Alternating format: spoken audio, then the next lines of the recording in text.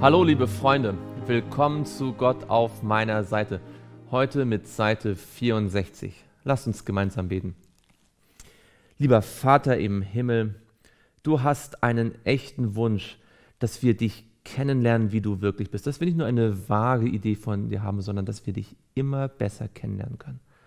Und so bitten wir dich, dass du auch heute durch dein Wort zu uns sprichst. Das bitten wir im Namen Jesu. Amen. Wir sind in 2. Mose Kapitel 3 und Gott offenbart sich dem Mose am brennenden Dornbusch und gibt ihm den Auftrag, nach Ägypten zurückzugehen und sein Volk, das Volk Israel, aus der Knechtschaft herauszuführen. Vers 17. Und ich habe gesagt, ich will euch aus dem Elend Ägyptens herausführen, in das Land der Kanaaniter, Hethiter, Amoriter, Pheresiter, Heviter und Jebusiter in das Land, in dem Milch und Honig fließt. Und wenn sie auf dich hören, so sollst du und die Ältesten von Israel zum König von Ägypten hineingehen und zu ihm sagen, der Herr, der Gott der Hebräer ist uns begegnet. So lasst uns nun drei Tage reisen weit in die Wüste gehen, damit wir dem Herrn, unserem Gott, Opfer darbringen. Aber ich weiß, dass euch der König von Ägypten nicht ziehen lassen wird, auch nicht durch eine starke Hand. Aber ich werde meine Hand ausstrecken und Ägypten schlagen mit allen meinen Wundertaten, die ich in seiner Mitte tun will. Danach wird er euch ziehen lassen. Gott gibt nicht nur die frohe Botschaft, dass das Volk frei werden wird. Er sagt von vornherein, dass es eine schwierige Sache sein wird und dass es Glauben und Geduld erfordern würde und dass es scheinbar eine Reihe von Rückschlägen geben würde. Gott sagt es dem Mose und damit dem ganzen Volk im Vorhinein. Gott verheißt uns, dass er uns vollständig retten wird. Aber er sagt uns auch, dass es ein Kampf sein wird, dass der Satan nicht uns einfach so gehen lassen wird. Und wenn wir dann scheinbar Rückschritte und Rückschläge erleiden, dann lasst uns das nicht Gott vorwerfen, sondern uns daran erinnern, dass Gott sehr treu und ehrlich uns gesagt hat, wie sein großer Sieg aussehen wird, nämlich so wie hier auch in dem Auszug aus Ägypten.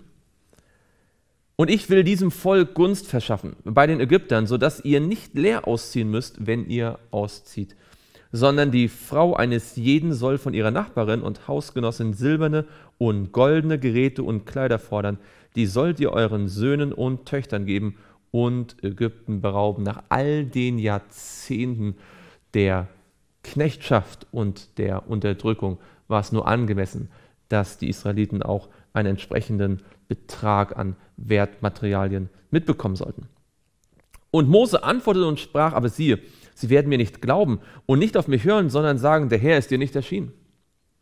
Da sprach der Herr zu ihm, was hast du in deiner Hand? Er antwortete, einen Stab. Was für eine interessante Frage. Manchmal sehen wir auch Probleme und Mose hatte ja nicht vollkommen Unrecht auf die lange Sicht gesehen, was er hier gesagt hat. Wir sehen die Probleme, wir sehen den potenziellen Unglauben, aber Gott fragt uns, was hast du denn in deiner Hand?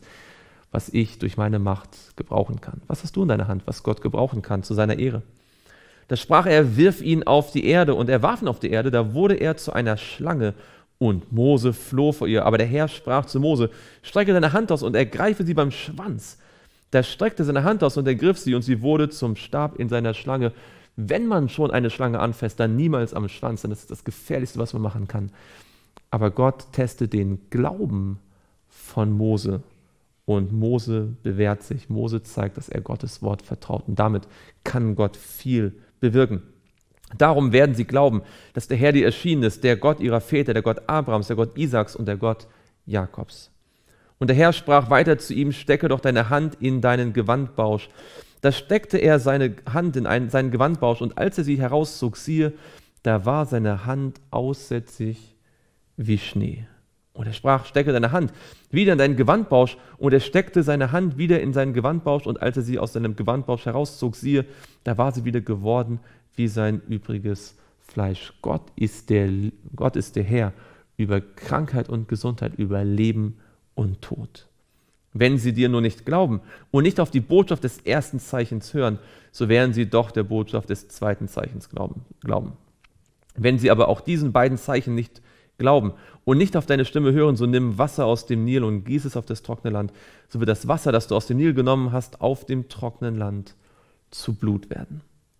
Mose aber sprach zum Herrn, ach mein Herr, ich bin kein Mann, der reden kann, ich bin es von jeher nicht gewesen und ich bin es auch jetzt nicht, seitdem du mit deinem Knecht geredet hast, denn ich habe einen schwerfälligen Mund und eine schwere Zunge. Wie leicht finden wir Ausreden. Mose hatte schon seit 40 Jahren wohl kein Mittelägyptisch mehr gesprochen. Aber er war ein sehr begabter Mann. Und Gott wusste, welche Talente er ihm gegeben hatte. Da sprach der Herr zu ihm, wer hat dem Menschen den Mund gemacht? Oder wer hat ihn stumm oder taub oder sehend oder blind? Macht ihn stumm oder taub oder sehend oder blind. Bin ich es nicht, der Herr?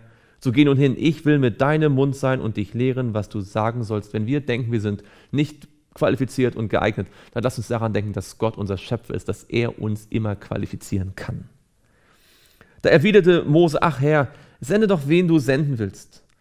Da wurde der Herr sehr zornig über Mose und sprach, weiß ich denn nicht, dass dein Bruder Aaron, der Levit, gut reden kann? Und siehe, er zieht dir entgegen und wenn er dich sieht, so wird, sich, wird er sich von Herzen freuen. Du sollst zu ihm reden und ihm die Worte in den Mund legen. So will ich mit deinem Mund und mit deinem und mit seinem Mund sein und euch lehren, was ihr tun sollt. Und er soll für dich zum Volk reden, und so wird er dein Mund sein. Und du sollst für ihn an Gottes Stelle sein. Und nimm diesen Stab in deine Hand, mit dem du die Zeichen tun sollst. Man kann auch zu demütig sein. Wenn Gott uns einen Auftrag gibt, dann sollten wir uns nicht kleiner machen, als Gott uns sieht. Lasst uns beten. Lieber Vater im Himmel, Danke, dass du für jeden von uns eine Aufgabe hast und dass du sie uns sehr deutlich machst, selbst wenn wir bereits 80 Jahre alt sind, so wie der Moses war. Und bitte hilf uns, dass wir glauben, dass du uns befähigen kannst, auch selbst wenn wir uns selbst als völlig unqualifiziert betrachten. Schenk uns den Glauben dazu, im Namen Jesu.